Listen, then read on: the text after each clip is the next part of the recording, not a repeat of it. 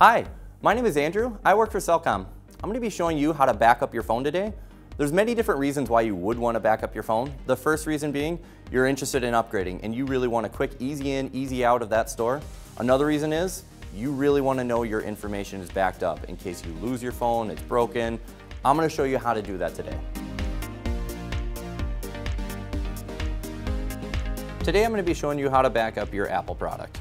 Whether it's an iPad, iPhone, they're all going to work pretty much the same as long as you have the latest software update.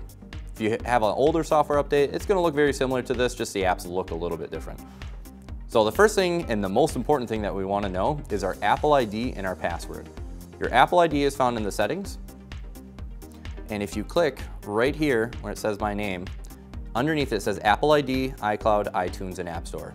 That's really the most important thing that this phone could ever need is that because it's going to start backing up your photos, your contacts, pictures, text messages, all because of this thing called the iCloud. The iCloud, really all you need to do is know your Apple ID and password, go in there. All this stuff, if you do want it to be backed up, you don't have to do everything. All you need to do is just make sure it's checked, checked in the green. You can turn that off if you want. And make sure that the iCloud backup section is turned on because that way it automatically does it pretty much almost every single day. It's usually about every other day. But if you really want to back it up right now, just click on that and go to backup now. And you just need to be connected to Wi-Fi. That's pretty much it. That's going to make your phone, all the apps, all the placement of the apps, your wallpapers, your text messages, your call logs, all get backed up via that process. If you didn't want to back it up via the iCloud, some people have problems with they don't have enough iCloud storage space because there is a very limited amount of storage space unless you pay for more. There is other ways to back up your information.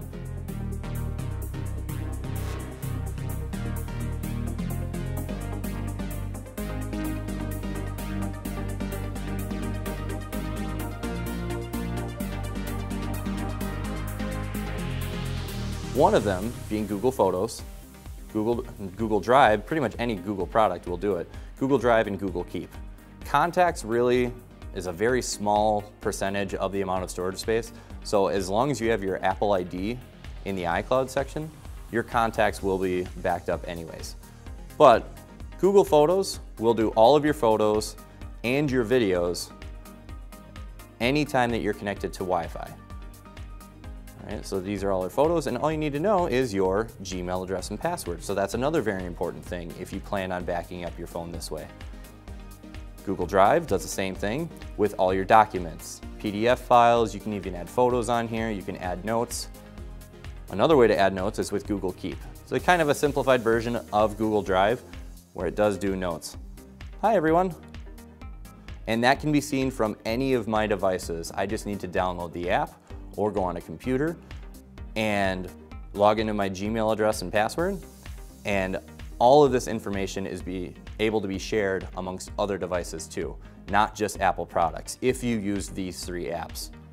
Thanks for watching. Stay tuned to Cellcom's Facebook page for more helpful tips and information.